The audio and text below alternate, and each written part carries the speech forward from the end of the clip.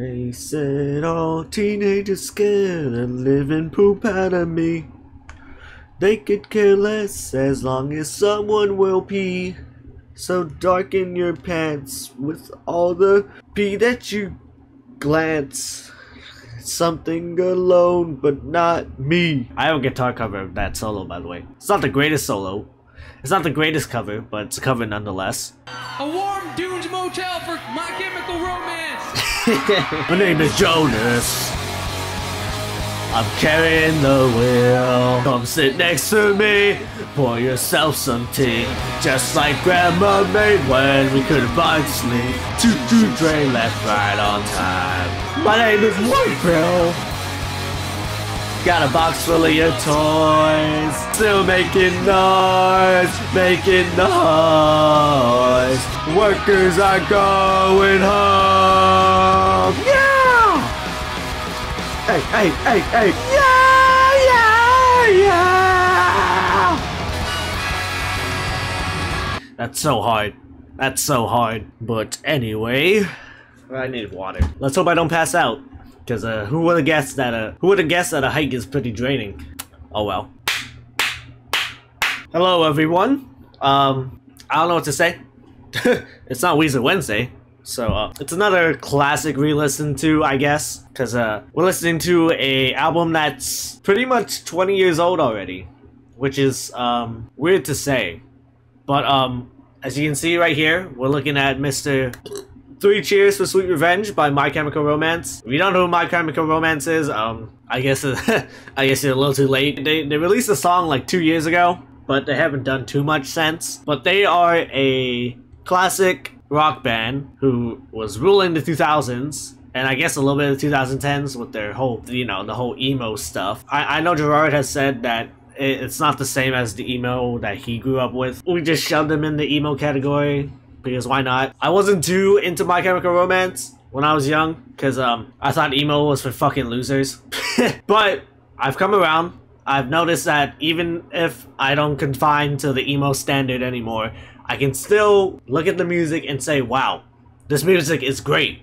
And that describes this album pretty well. Of course, people are probably going to guide you towards the album that happened two years later, which is The Black Parade, which is a classic too. They're, they're, they're both great. I haven't listened to this album fully in a while. I haven't listened to The Black Parade fully in a while either.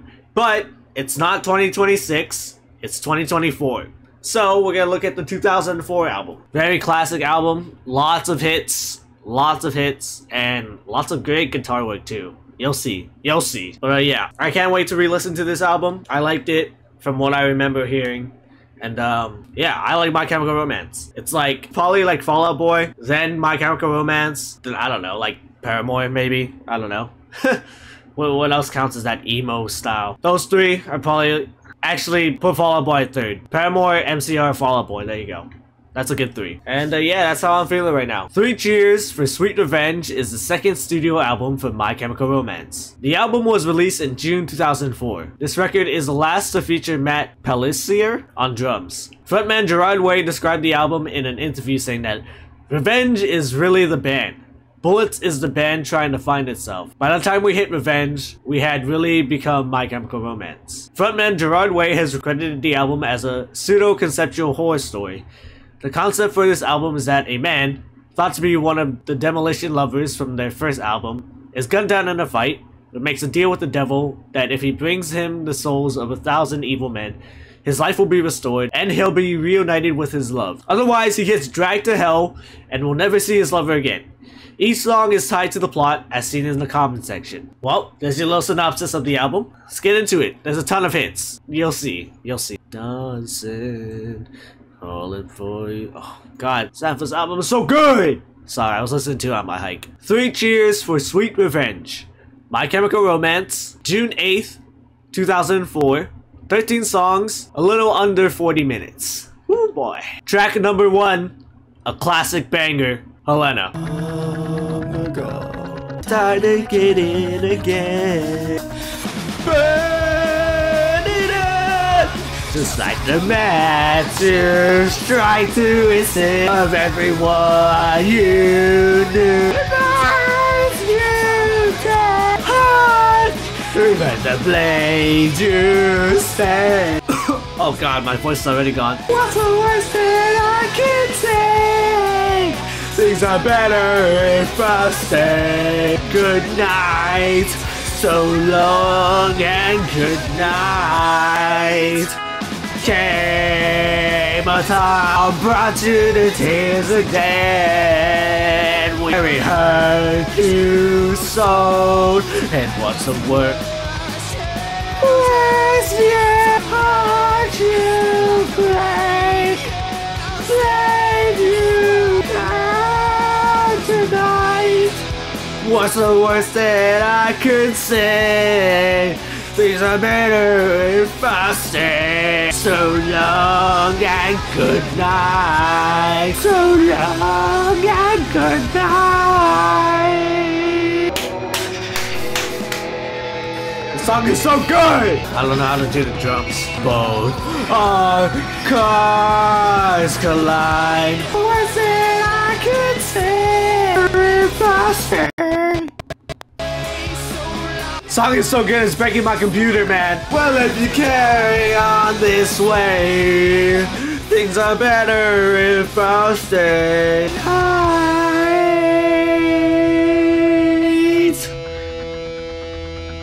They really dropped one of the best opening tracks the, uh, of that year, man. See, there's there's just so much to dive into.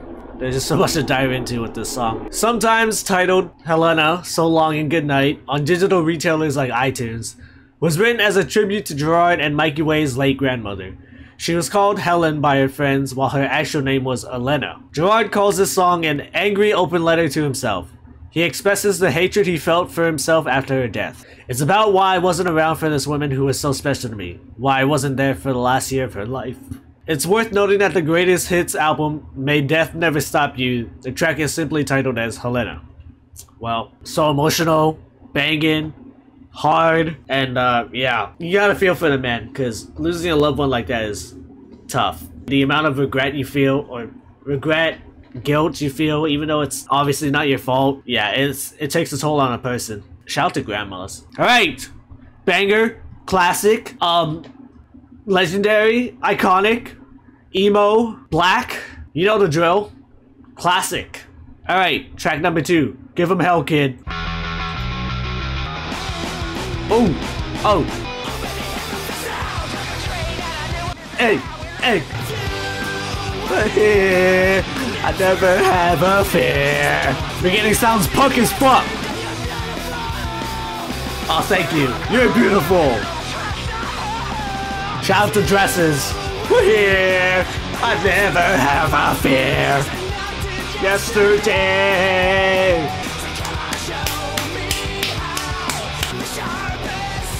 The sharpened lies are the deadliest to be. Come on, come on, lay the solo down. Or not. Never mind. Did yesterday. So this is when after like the death happens or like I think it says the companion doesn't know that the deal with the devil has been made. Apparently they like to play this one live the most, which I can agree. This is so powerful, so energetic. I, I can agree why they like this. To the end, track three, the fume. Is this is this the POV of the devil? If you marry me, would you bury me? Bring me to the end. Say vow to take, the life you make, the heart you break, and all the cyanide you drink. Whoa, whoa! A push around the body she lands. Got nasty blisters from the money she spent. Barbie, Ken, bury me. Would you bury me? Say goodbye. Say goodbye. And all the cyanides you drank to the last parade. Not the black one, or maybe who knows. Come on, come on. Whoa, whoa, whoa, whoa, whoa, whoa. Say goodbye. Say goodbye. And all the cyanide you. Yeah. Oh, man, aren't we just having a rockin' start, a banging start? To the End is based on William Fall, William Holy crap, I can't read. Sorry, this banger was so good. To the End is based on William Faulkner's short story A Rose for Emily. The title also references a 1994 song by Blur of the same name. Oh, Shout out to 94. In terms of the Three Cheers storyline, it appears that the protagonist crashes a wedding celebration to rack up more murders towards his goal of killing a thousand evil souls. Ah, that's that makes more sense instead of uh, devil POV. Eh, yeah, okay. Sorry, when he said let's go down, I thought he meant like literally, or like, you know, go into hell. But uh, yeah, that's where I got the devil connection from. But this makes more sense knowing that he's shooting up a wedding. Or, you know, for lack of better terms, destroying a wedding. Yeah, some horror elements mixed with some fucking rock, dude. Track 4. You know what they do to guys like me? I'm pretty sure that's what the pretty sure what that's what the title says. Oh, you know what they do to guys like us in prison? My bad. In the middle of a gunfight, say, come with your arms. It's that um what's the word? It's that um it's I'm forgetting the word, but there's a certain vibe that describes this and it's very theater like obviously very conceptual like how pretty much most most of MCI's category is. But again, I, I, haven't listened to I haven't listened to um Frick, what's that 2010 album? Don't ask na na na. Na na na na na na Danger Days. Danger Days. I haven't listened to that one. I pretty much listened to this one and um Black Parade. Where was I going with this? Anyway, it's very this is a very theatric track so far.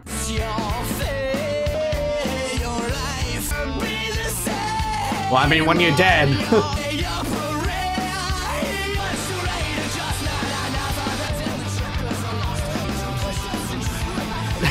oh God.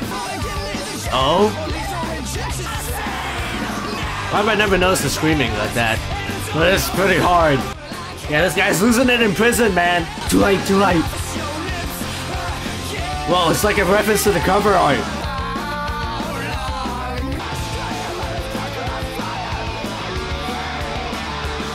Yeah, light that bitch on fire!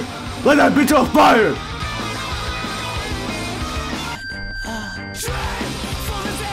Hey, if I'm going down, I'm taking you bitch asses with me. Oh, what a laugh. Oh, another classic track. What track are we on? Track 5, I'm not okay. In parentheses, I promise. I'm the Joker, baby. Well, if you wanted honesty, that's all you had to say. Want to let you down or for all the dirty looks, the photographs your boyfriend took. Not okay. I'm not okay.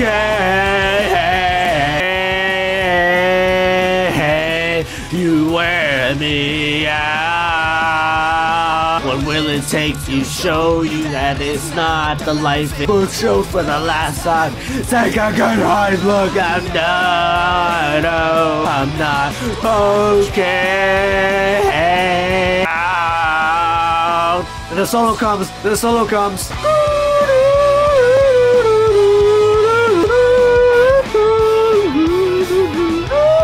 You can't tell me these songs aren't bangers, man. Grabs your boyfriend took. Are you sure, buddy? Uh, okay. I'm okay now. Trust me. I'm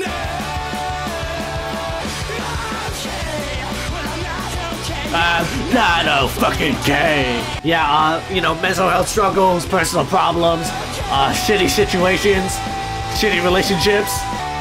Sometimes you just gotta tell yourself, man, I'm in a shitty situation, but I'll be I'll be getting through it. Another classic, The Ghost of You. Actually, I'm gonna restart this because we should we should probably look into we should probably look into that banger deeper. The story of this song is about a girl with interpersonal problems, such as her boyfriend sharing naked photos, asking for help from her friend, the narrator. The narrator is suffering from his own very real problems, but puts them aside to help the girl out, who doesn't really listen to him. Oh, buddy. Oh, buddy.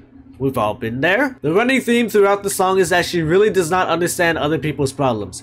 She loves all these songs with deep meanings, claims that they speak to her and that she can relate, but really she doesn't know what any of it means. The narrator finally tries to get it to her so she can understand that her problems are very different from his. Hers are external, his are internal, and that doesn't mean his are any less real or painful. Yes, everyone has problems. Obviously. We just gotta learn empathy. Life doesn't have to be a whole like who can outpity the other person, right? We all have problems. There's really no gain from going like, oh, well, if you're suffering, that you know, I'm I'm suffering more, so uh, I should get a medal for this. It doesn't really matter. We all have problems. Some are definitely worse than the other. You know, pick your battles and uh, hopefully hopefully we can all get through this together i guess what do the comments say about this i think he's trying to say he's not okay yeah now track number six the ghost of you anyone seen the music video for that one where they're like in d-day yeah that was freaking crazy I never wait forever. At the end of the world, or the last thing I see, you are never coming home, never coming home. Could I?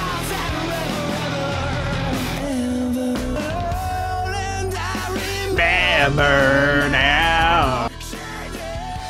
Fucking gruesome. At the end of the world, never coming home, never coming home. Could I? Should I? You never ever told me. And all the smiles that are never gonna harm me. Never coming home, could I? Should I? Not always. I was about to say, not, not everything on this album is like super fast paced and heavy rock, but emotional parts of the story. I mean, shit, when you're dealing with loss and grief, it's gonna be pretty ugly. The end of the world. For the last thing I see. Never coming home, never coming home. Damn, didn't even get to finish your song, man. With some of the most extreme grief and powerful vocals from Three Cheers, The Ghost of You explores the heartbreak one feels with the unexpected loss of a loved one. Continuing on the album's story, The Ghost of You tells listeners of the propagandists, propagandists. The Ghost of You tells listeners of the protagonist longing for his missing love and frustration from worrying he'll never complete his task to bring her back. The music video features the band as soldiers from World War II. It is believed that the scene is set on the Normandy invasion. Hundreds of thousands died that day, and the video features Mikey being shot. Gerard later said in an interview that Mikey's death was director Mark Zabiak's idea. Protagonist longing for his missing love, never completed his task to bring her back. But isn't he the one that's dead? In regards to the album, he's the one that's dead, right? And he has to kill people to go back to life with the lover. Right? Gunned down in a fight, but makes a deal with the devil that if he brings in the souls of a thousand evil men, his life will be restored and he'll be reunited with his love. Otherwise, he gets dragged to hell and will never see his lover again. Each song is tied to the plot, as seen as a comment section. Hmm, interesting. Yeah, but uh, very emotional track, crazy ballad, and I, I really like the music video for that. Then again, like I was a sucker for World War II media back in the day. It, it makes sense as to why that'd be one of my favorite videos from from the album. I guess really emotional track. Anyway, track seven, the Jet Set Life is going to kill you, and that's going to with a G O N N A. to her killing job. I'm just a worst guy with Yeah, let's lie together, Riv- Rivers. I just called Gerard Way Rivers Cuomo. I'm so sorry, guys. But yes, let's lie. Let's manipulate. Oh, buddy. Drug abuse. Okay. Different kind of lie.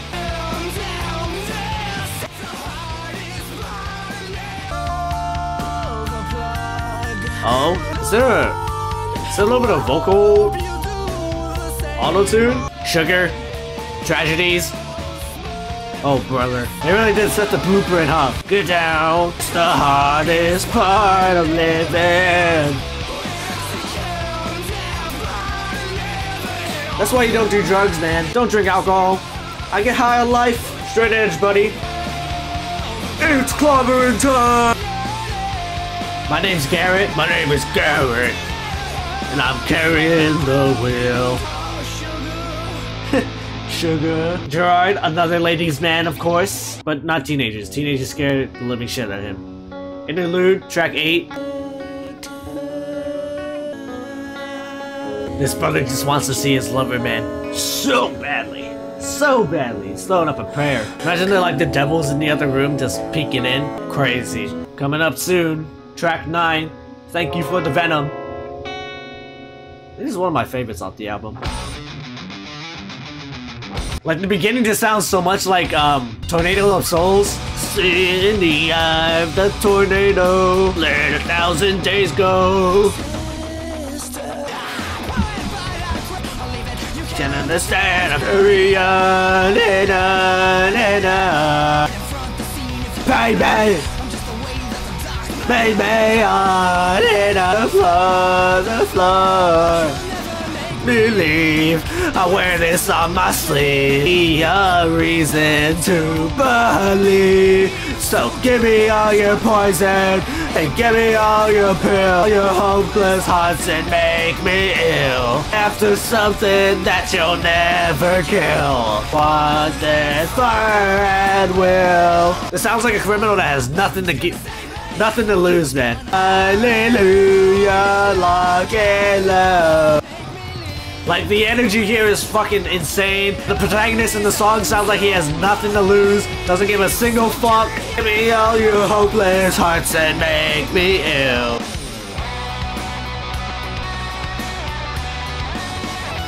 Come on, come on, never make me leave. I wear this on my sleeve. Reason to believe. And then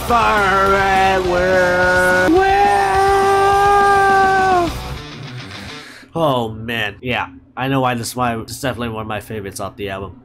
But look at this. Merci pour pour le venin, which means thank you for the venom in French, appears in the album sleeve of My Chemical Romance's previous record, Bullets. Gerard Way stated that the song is a comment on music at the time as well, a lot of fear mixed in with self-loading. It is a message to critics that the band is not making music just to be famous, but they want their fans to be a part of it too. It is also very well Jeez. It is also very well known for being a song that inspires people to not give up and do something with their lives instead of taking their own away. Ah, so it's also a shot at whatever criticisms they had at the time? I guess so. Like the way uh, you're running after something you'll never kill. If this is what you want, then fire at will. I mean, sounds like a lot of things. Sounds like a guy who doesn't give a shit, wants to keep living, or having like a huge adrenaline rush, or you know, do what you want. We're gonna do whatever makes us great, and the fans, the fans will hopefully like it. Which, as a little fan of My Chemical Romance, I like it. So yeah, fuck you, critic, whoever you want. Anyway, track nine. I'm losing track, man. Track ten. Hang 'em high.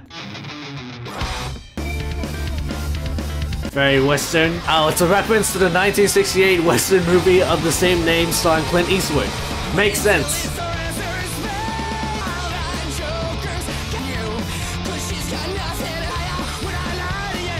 Uh, I don't know if you'd lie to me.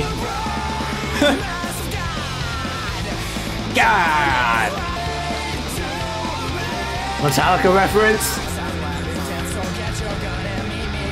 Oh? Put it down! Put it down, man! I get a duel? I get a duel?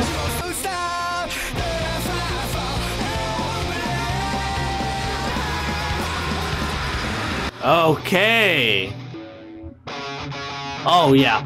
It's not a fashion statement, it's a death wish. Banger, baby. What you did to me! Oh, what I'll do to you! You get a lifetime! I think I had this modded in my 2K. Let's go! Do you remember that day when we met? Hey, this gets harder. Well, it did. I've gone, you kill my enemy. Inflicted temporary from the dead. I'll take you home with me. Taking back the life you stole. We never got that far. Even think all through the night. Kill me now, or it's just you and I. Your starless eyes remain. Hip hip hooray! Would you kill me in my sleep? I will avenge my ghost with every breath that I take. Take you home with me. I'm taking back the life you oh. stole. He's more than six feet, bitch. Shit, I got water on my shirt. Fuck. Yes, sir. Yes, sir. Hey, hey, hey, hey, hey, hey, hey, hey, hey. He's manifesting this shit, man. Banger. Banger. Also one of my favorites off the album. Cemetery Drive. This is that drum beat.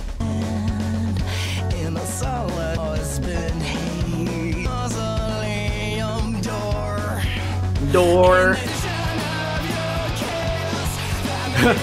what an interesting way to put it. Yikes. Um, I don't know, man. That's great. That's not as great. I don't know, man. Miss you. I miss you so far.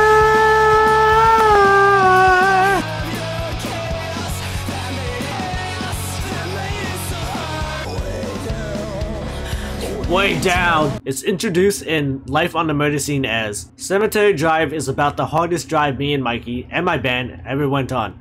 We've been on this long road now about four years. Uh, I, I don't know if he's talking about like tour road or like just this whole overall like band artistry thing. Then again, do the same thing for years on end, you're bound to notice it. You're bound to notice it, and either you get tired of it or you find a new way to love it. But we're reaching our final track on this album because apparently there's a track 15. uh, There's a track 14, but I'm assuming that's like a deluxe track, whatnot. We're reaching our final track. I never told you what I do for a living. Please inform us what you do for a living. That guitar, that pick slide. That's a little sus. Be me. You dirty freak.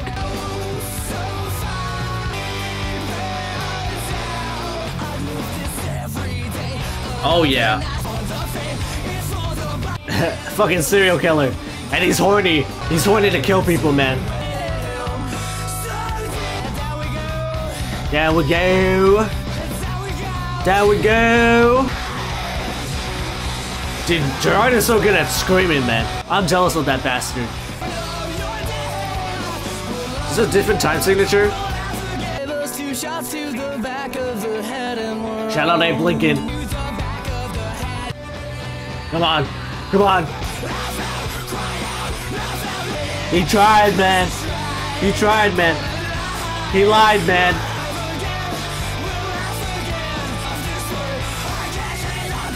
And we are at the end.